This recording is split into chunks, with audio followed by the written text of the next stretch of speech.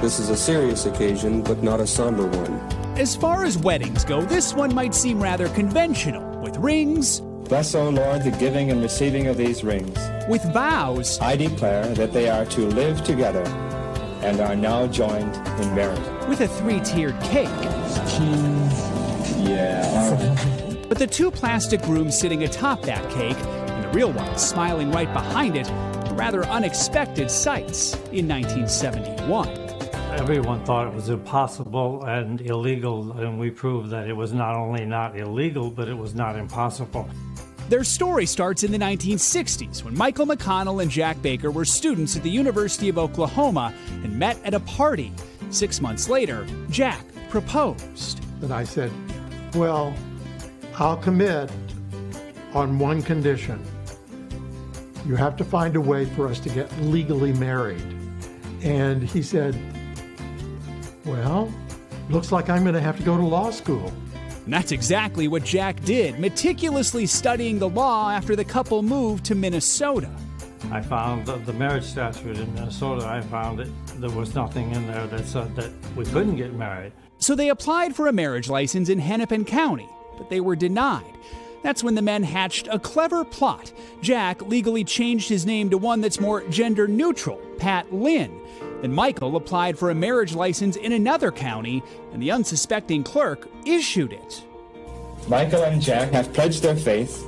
They have publicly declared their love. Before county officials could figure it out, the men quickly wed in a small ceremony with a Methodist pastor.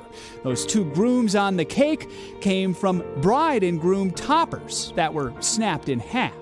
We prevailed, and I'm quite happy about that.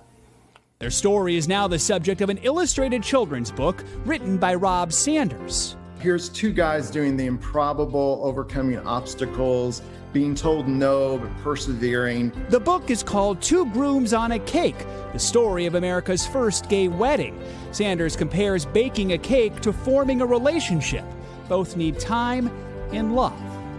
When parents and kids read this book, what do you hope is their takeaway? I hope that parents and kids, their teachers, their librarians realize that when you see injustice, that there's no one better to fight against injustice than yourself.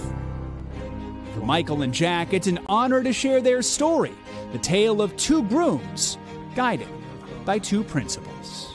The first is full and absolute equality for all people, no exceptions, no excuses. And then our second one love is the most powerful force in the universe. It can and does transform everything.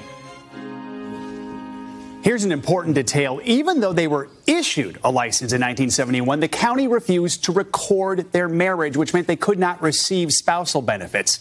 Now, you'd think when Minnesota legalized same sex marriage in 2013 that Michael and Jack would have just applied for a new marriage license.